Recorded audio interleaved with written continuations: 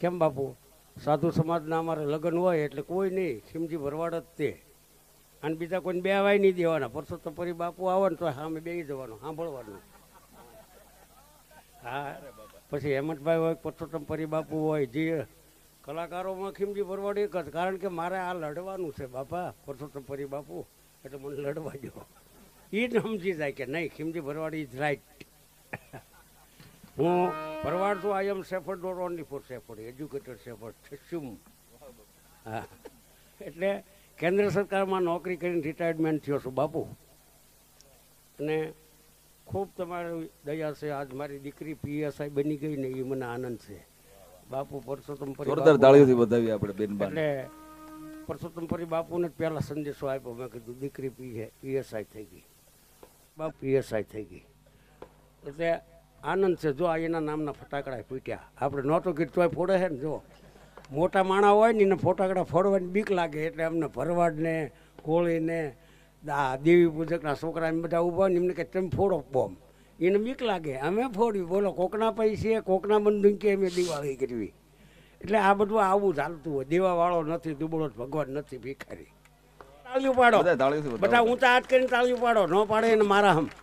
પાડો એ હૈસું તો કામ આવશે કોકના દાડા કરવામાં. હે? એટલે હવે ચિંતા અમને મટી ગઈ સંતો અમારા બેલી થઈ ગયા. સંતો અમારા બેલી થઈ ગયા. ચારણને થયો તો એક. ચારણને એક પ્રગટ થયો તો ભોળિયોનાથ જ્યારે ચારણ કમળ પૂજા ખાતા હતા ને ત્યારે કે, શા માટે ચારણ આ કરે? અરે કે મને એક રાજપૂતે એમ કીધું કે વાંજિયાનું મોઢું નથી જોવું. હે? કે હા. અને એ વલ્લભીપુરની અંદર. અને તે એ ચારણને ભોળિયાનાથે કીધું કે તારા સમયમાં કોઈ સંતાન છે જ નહીં. હું કેમ આપું? પણ કે હાલ પાતાળની અંદર જાય, નાગતમર દેવને મળવી. અને નાગતમર દેવની હારે એ જેથી ચારણ ગયા ને તેથી હાથ દીકરીઓ આવડ જોગડ તોગડ બીજબાઈ હુલબાઈ સાસાને ખોડિયાર અને આઠમો મેં રખ્યો ભાઈ.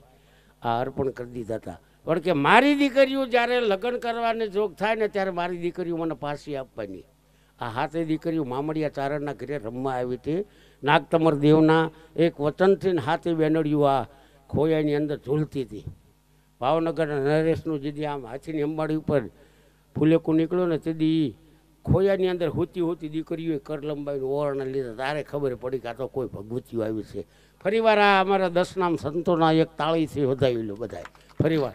હવે તમને મોજ પડે એ તમને